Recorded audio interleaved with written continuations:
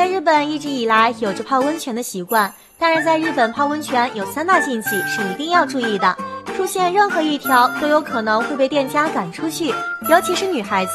特别是不喜欢第三条。第一条就是身上不能有大面积的纹身。虽然日本是一个黑社会遍地的国家，日本的黑社会是按照纹身来区分地位的，并且黑社会在日本也有着一定的话语权。不可以让他们随便的就进入店中，可能会给其他客人造成一定的心理阴影，影响泡温泉的生意。所以很多澡堂都会明令禁止有大面积纹身的客人入内。第二点，泡温泉前一定要洗澡，温泉不是洗澡水，不能够说换就换。为了不影响后续客人的使用，澡堂一般都会规定在泡温泉前一定要先洗澡。第三点是女孩子最不喜欢的一点，那就是一定要把衣服脱光。除了放松身心，温泉中的矿物质对人皮肤有一定的养护作用，所以泡温泉一般情况下连浴巾都不要。这一点对于许多男生来说或许还能接受，但许多女生表示无法接受。